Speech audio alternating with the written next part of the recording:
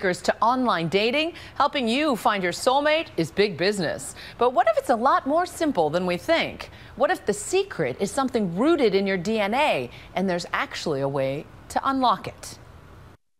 From hiring a matchmaker like Hitch Go 90% of the way and then hold.